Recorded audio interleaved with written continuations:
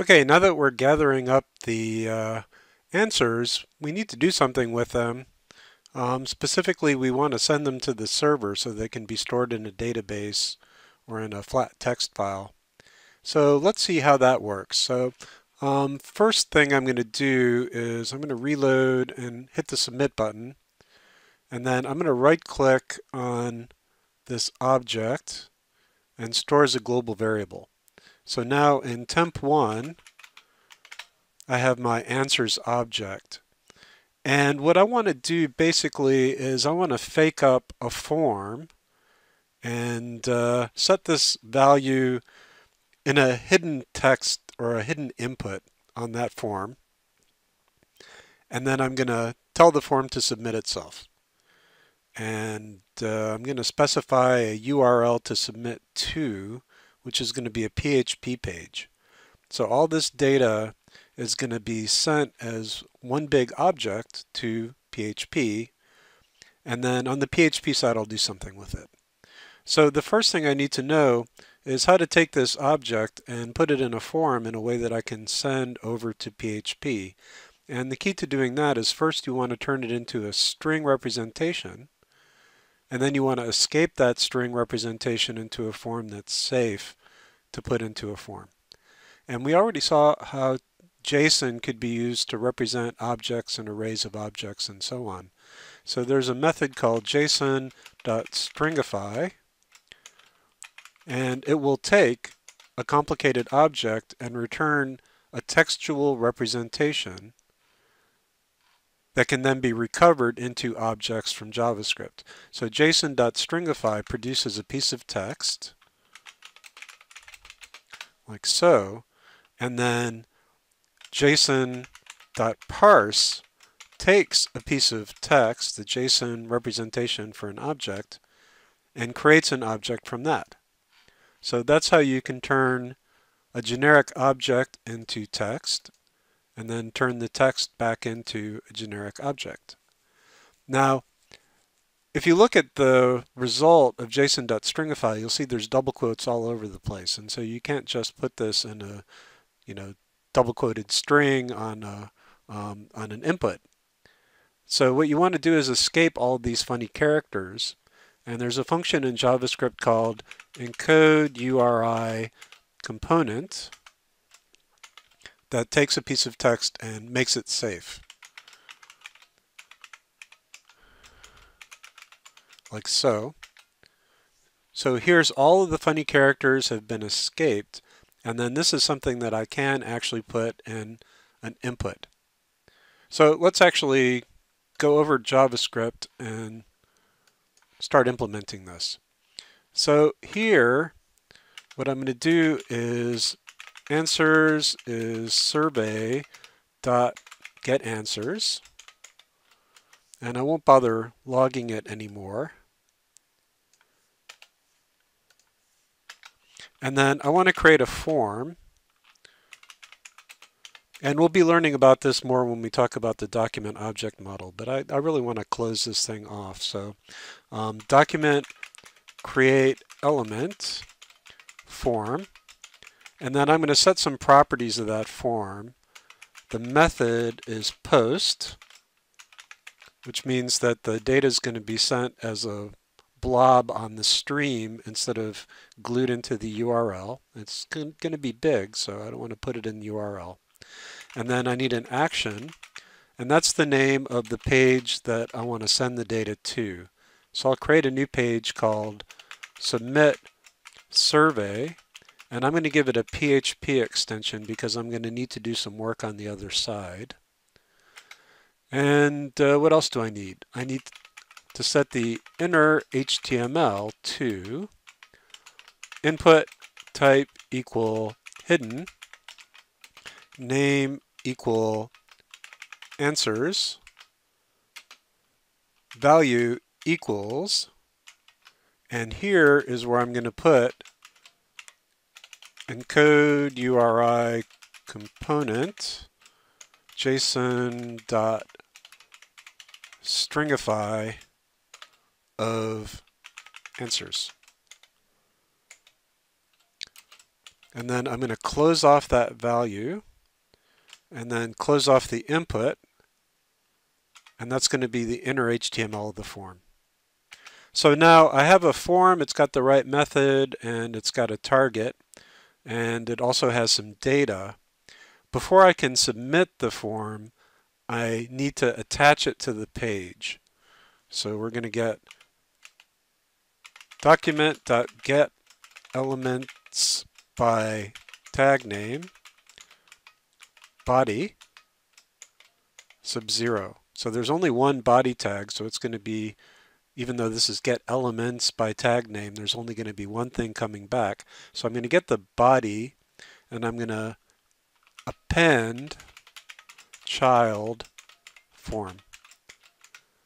So this basically attaches this thing I just created to the end of the body of my current page. And once it's attached, then I can call form.submit, like so. So let me go ahead and pull up my browser. Oh, I already had the browser. And I'm going to reload. And uh, actually, so here's what I want to do. I want to go to the Network tab and watch what happens when I hit Submit here. So I'm going to hit Submit, and then that's posting to submitsurvey.php. And if I click here, I can actually see here's the URL that it's submitting to, here's the method, 404 not found because I haven't written this page yet. But then if you look down at request headers, you see it actually sent um, 1500 characters and here's the form data that it submitted. So there's an answers value with this complicated string in it. So that means the data is being sent correctly. And then let's go ahead and write a PHP page. So this is going to be submit survey.php. And we're going to start with a PHP tag here. And all we're going to do to start is echo dollar sign under post sub answers.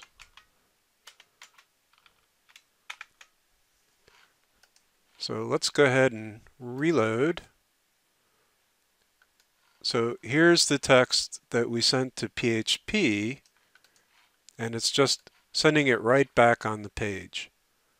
So now let's go ahead and decode that. So there's a function in PHP called URL decode.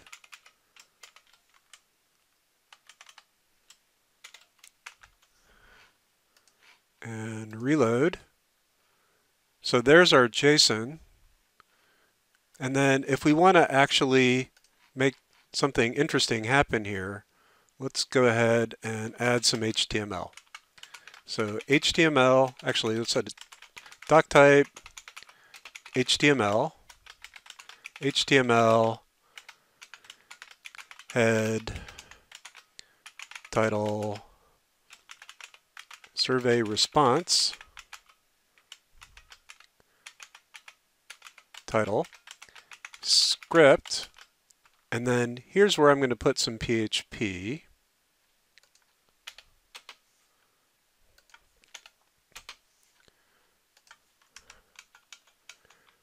Var answers equals this JSON, semicolon,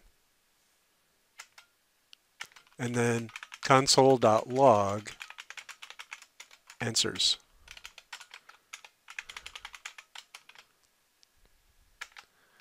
We'll close off the head, body, H1,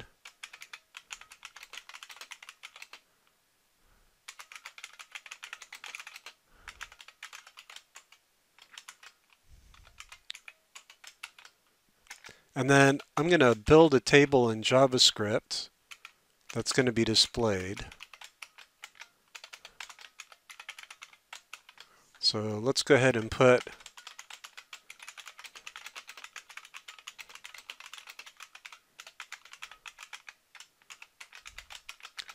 and then we'll add a div id equal response table.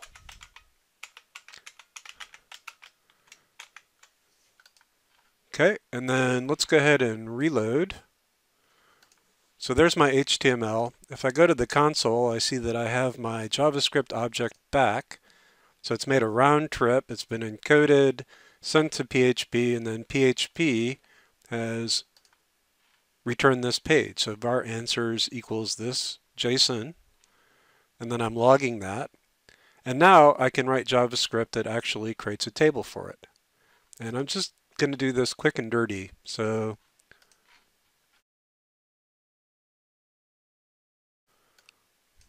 So let's go ahead and create a function called build response table.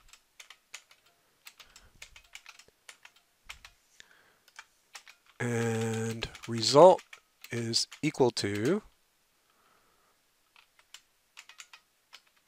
empty.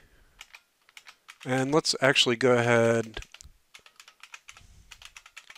and add in a table.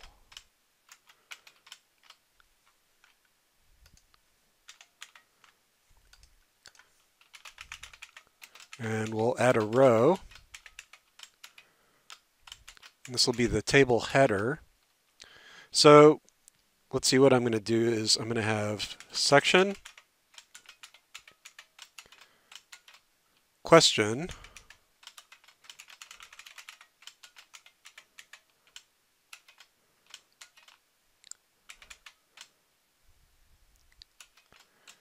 response, and value.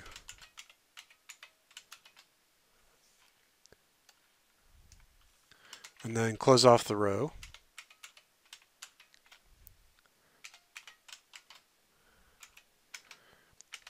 So now I want to loop through answers. Let's make this a global. So I'm going to loop through answers for each section. So for section in answers, and then for each section, I'll say for question in answers subsection. And then for each question, for response in answers subsection sub question, I want to add a row with table cell section table cell question, table cell response, and then the value is going to be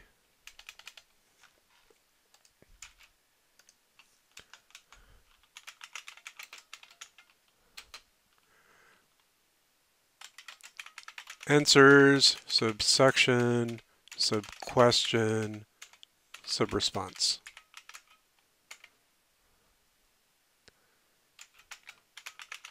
And then I'm going to close off that cell and add a new line. Oh, actually, I want to put this in a row and then close off the row. So that's going to go ahead and output all of my responses. And then I want to close off my table. And then I'm going to store the table in response table.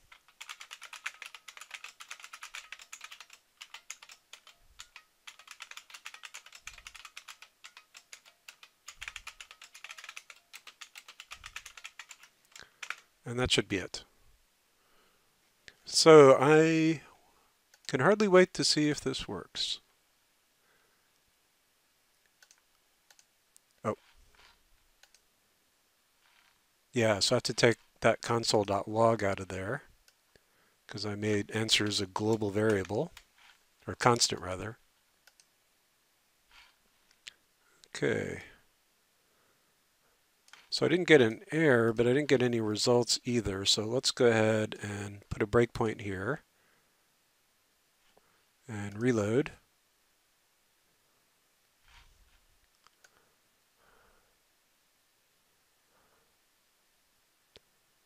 Oh, I'm not calling build response table. So let me go ahead and do that. And uh, we'll just say window dot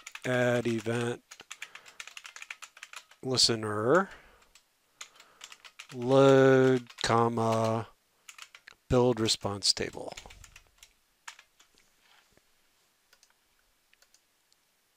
Okay, so now I'm calling it. Let's run it and see what happens.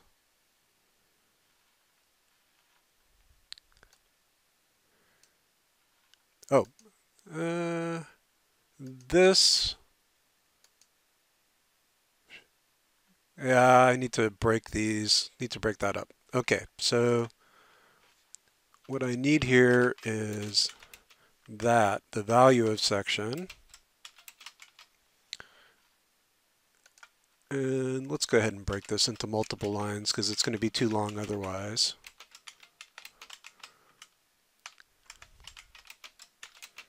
Question.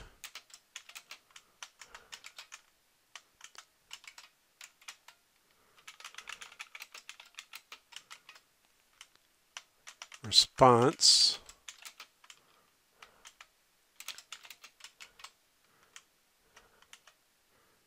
And uh, that looks better. Let's give that a shot. Oh, there we go. So demographic status, full-time student, false. Okay, so let's go ahead and actually fill the, the survey out, reload. So let's say we're a full-time student, work study, and uh, work in the cafeteria. Mm, nah, we'll just leave that. Something. And I'll go ahead and click Cascade and Rock Creek, 90026. And we'll say other, actually we'll say duplex and rent. Submit. And then, so status is full-time student work study. Other is something Cascade and Rock Creek, 90026, duplex, rent.